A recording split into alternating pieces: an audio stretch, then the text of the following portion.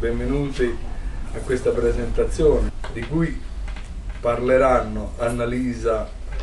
mia figlia la rivendico a questo punto, antropologa, Giampaolo Graziano, nostro amico, professore, giornalista, cos'altro posso aggiungere? Basta. e l'autore Ciro Tarantino, che anche, anche lui possiamo rivendicare come cresciuto in questa libreria è cresciuto, lo vedo anche dalla bibliografia, perché ormai eh, ho cominciato a prendere questa abitudine, i libri me li guardo dalla fine. E dalla bibliografia ho seguito un po' tutto il percorso, dico Ciro ma anche dei Ciri, perché a questo punto Ciro Pizza e Ciro Tarantino spesso eh, insomma lavorano assieme, si vedono, sono amici e tutto il resto. E, il, e la traccia eh, diciamo, del, del percorso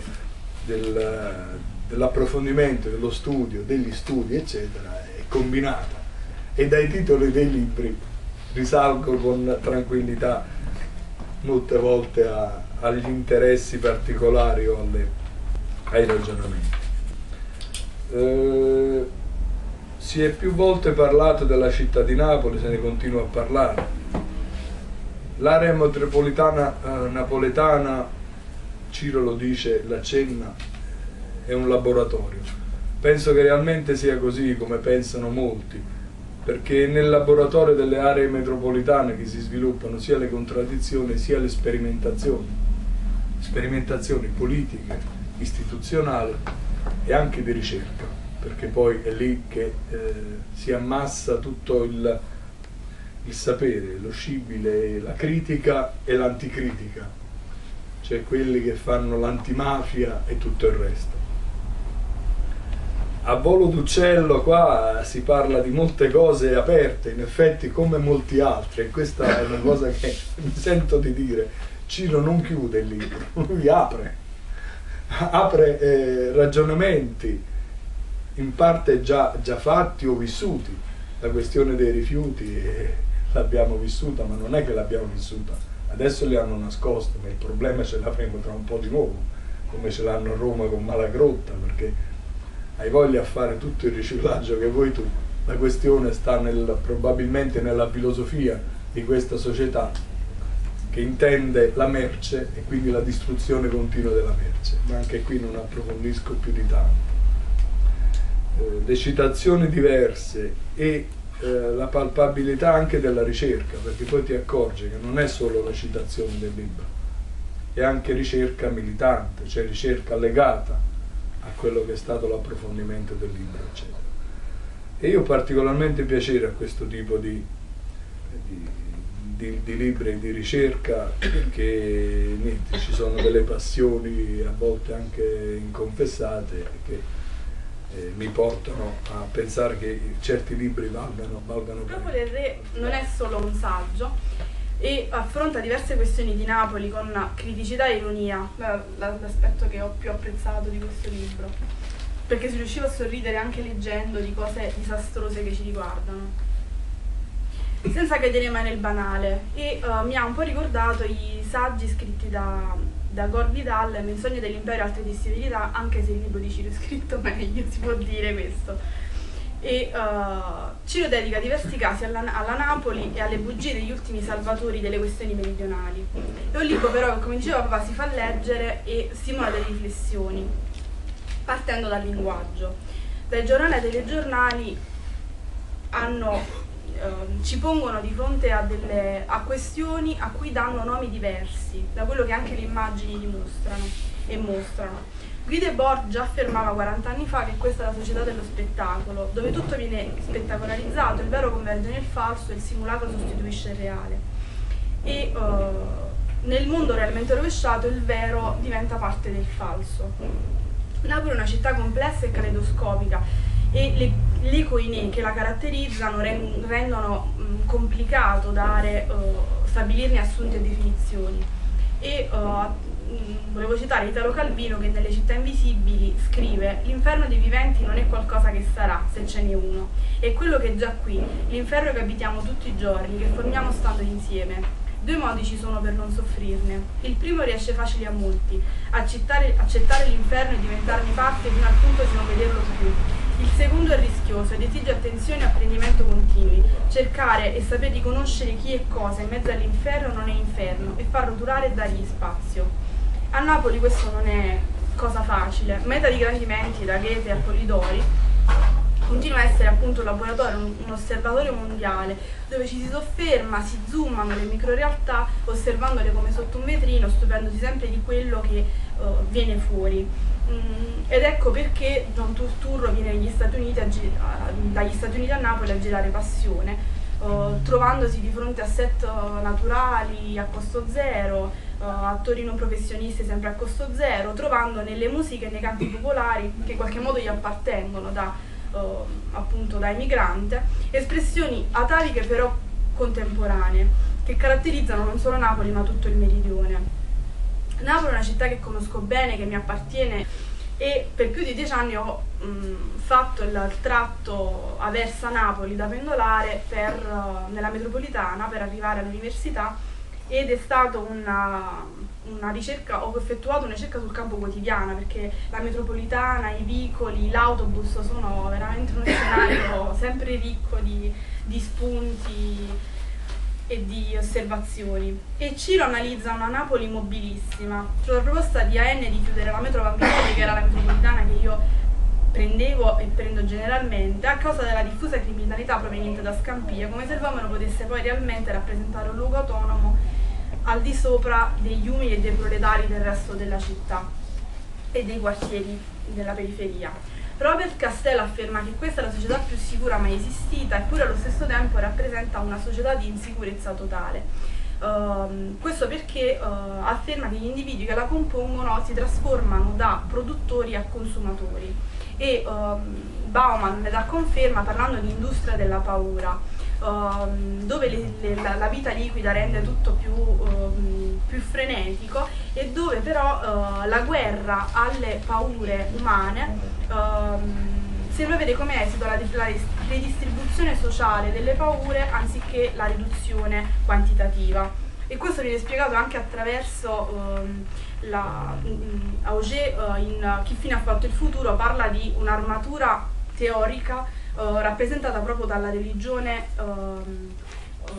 esasperata. ne abbiamo un esempio perché a Napoli ancora oggi si chiedono miracoli e anche Aversa è ricca di madonnari devoti, ognuno da una madonna diversa, che cercano di aggrapparsi a una spiegazione religiosa. E uh, Goethe disse: Trovo nel popolo napoletano la più vivace e geniale industria, non per diventare ricchi, ma per vivere senza preoccupazioni. E a Napoli, come tutto il meridione, ne abbiamo dimostrazione quotidiana sotto ogni aspetto, a partire da una signora anziana di Spacca Napoli che in questi tempi difficili di sopravvivenza, non potendo coltivare un piccolo orto perché eh, vive in, una, in, un palazzo, alleva una gallina strada che eh, le offre uova fresche da mangiare e da vendere. Nell'arte dell'arrangio eh, si sa che a Napoli e cosa risaputa, insomma. L'arte dell'arrangio uh, fa parte del popolo napoletano, infatti spuntano um, uh, in una giornata di sole, se viene, se viene, a piovere improvvisamente, spuntano dal nulla uh, bancarelle piene di ombrelli o fischietti in caso di sciopero e manifestazione, probabilmente anche in caso di attacco alieno si troverebbe sicuramente qualche soluzione. Però il fil rouge del libro non è solo Napoli, uno scenario in mutamento come quello dei teatri, ma è anche la parola, il significante e il significato, quello esplicito e recondito, quando l'oggetto uh, diventa qualcosa che uh, fuoriesce, uh, diventa altro. come dice Nanni Moretti, le parole sono importanti, andrebbero usate in modo esatto, soprattutto in politica. E dato che l'ho citato l'altra volta con Teti, citerei nuovamente però un'altra citazione di Tolstoi perché è sempre attuale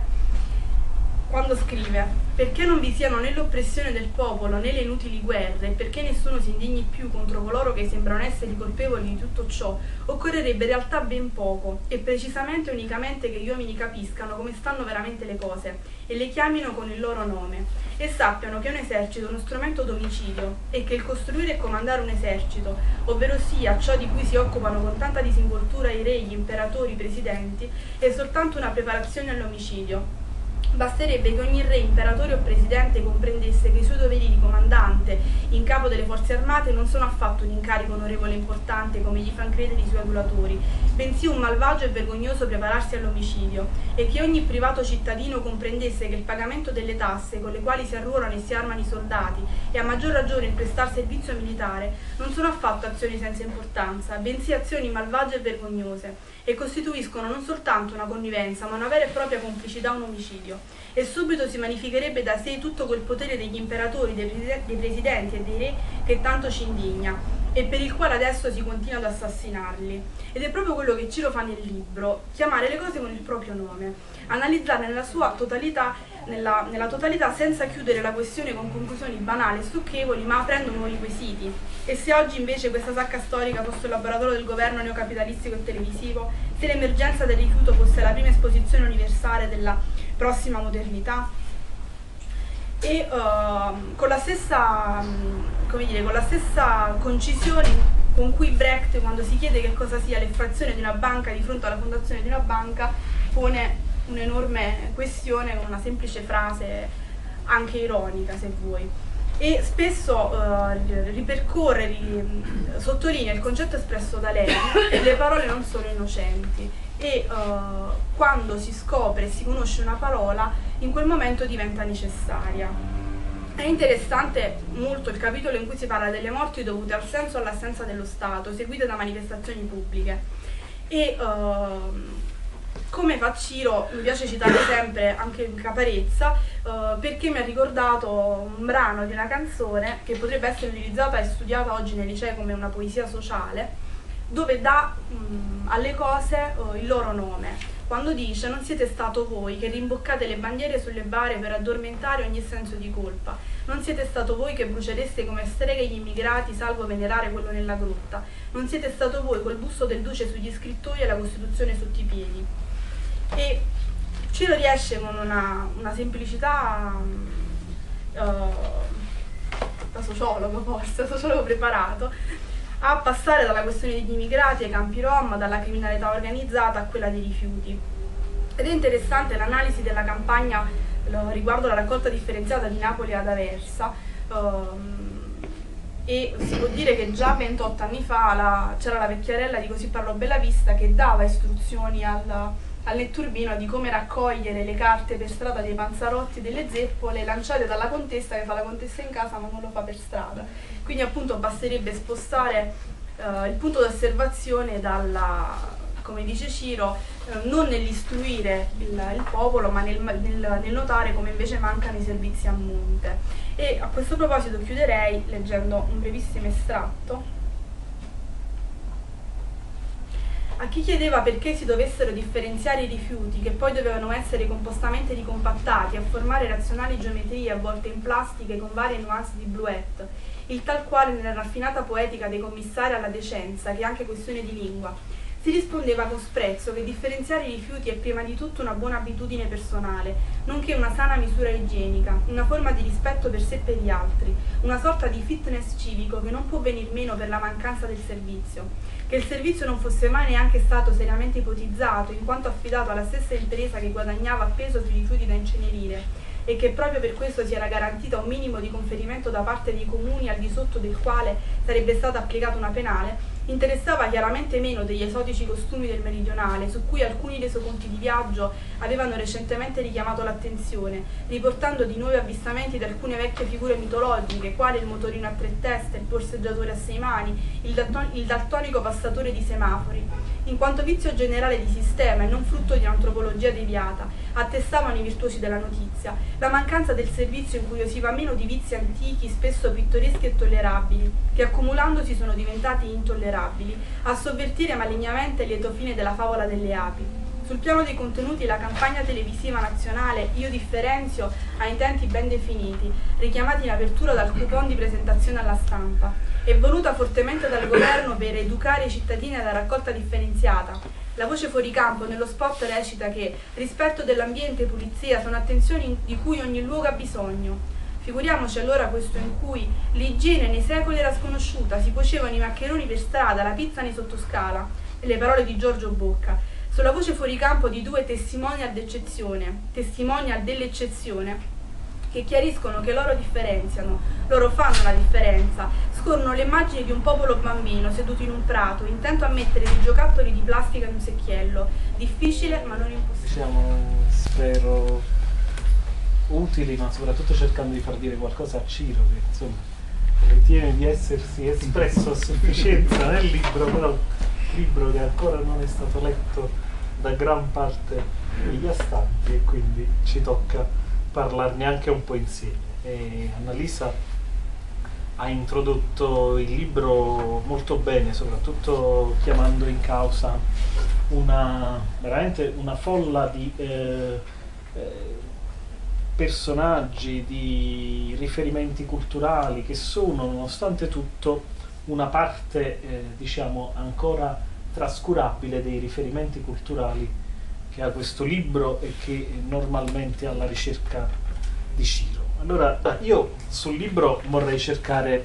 eh, come dire, innanzitutto di porre qualche eh, domanda a Ciro e in partenza di dire un po' quella che mi sembra eh, la tesi di fondo e la linea di ricerca aperta, eh, senza trascurare il modo in cui eh, Ciro affronta le problematiche eh, che sono oggetto di, questi, di queste, lui le chiama un po' scritture d'occasione, ma direi che qua il termine, anche in questo caso il termine è forse insufficiente. Prima Ernesto ehm, parlava mh, della dire, dell'argomentazione che, che, che, Ciro esibisce eh, fin dalla presentazione di questi scritti, che è a diretto confronto con una idea uh, pasoliniana della città. Eh, in alcuni casi noi sappiamo, tutti ne abbiamo diciamo, contezza e sensazione. Pasolini è stato un, un grande eh, cannocchiale puntato sul futuro e in alcuni casi è stato però diciamo anche ehm, la fonte, l'origine di grandi travisamenti. Qui secondo me Ciro coglie uno dei travisamenti eh, pasoliniani. Eh, Pasolini parlava di Napoli come di un luogo, eh, forse l'ultima, tra virgolette, uso un termine altrui, l'ultima speranza dell'umanità, l'ultima speranza di resistenza alla modernità, di resistenza alla, alle logiche del, del capitalismo post-industriale, alle logiche della società postmoderna. Ehm, l'idea di Pasolini della società napoletana, di ciò che Napoli rappresenta a livello simbolico ma anche a livello storico, era quasi quella di una eh, società eh, virtuosamente anarchica, irriducibile alle logiche dell'organizzazione. E forse questa grande illusione, questa grande, come dire, eh, e felice metafora eh, di una condizione resistenziale, di una possibilità di resistenza alla modernità, oggi dispiega un pochino tutto il suo fallimento, tutta la sua inconsistenza eh, l'ipotesi di fondo del libro, che mi sembra diciamo, ben sostenuta, veramente, eh, pur senza eh, diciamo, trarne delle conclusioni, come sottolineavi tu Ernesto, è che eh, noi eh, viviamo, siamo immersi in un contesto, in un luogo che probabilmente è diventato, per una serie di condizioni, di ragioni, che abbiamo analizzato tante volte anche in, in situazioni e per condizioni diverse, eh, uno dei grandi laboratori, dei laboratori eh, preferiti della condizione del postmoderno, del capitalismo cannibalista, eh, del, dire, della consunzione di un patto sociale, di un'organizzazione sociale che bene o male ha costituito il paradigma dell'Occidente, che ha retto, non dico per secoli, ma per decenni, che ha dire, determinato una linea di sviluppo che probabilmente oggi è giunta ad esaurimento. E probabilmente qui le cose avvengono eh, in alcuni casi prima che altrove, in alcuni casi avvengono eh, in maniera diversa rispetto ad altri luoghi. E quindi sembra eh, di trovarci di fronte a delle singolarità assolute. E queste singolarità che sono come dire l'oggetto di una ricerca ehm, squisitamente qualitativa e rivendicata come tale perché c'è, c'è una parte c'è uno dei capitoli del libro uno dei saggi del libro in cui eh, Ciro eh, diciamo esordisce proprio eh,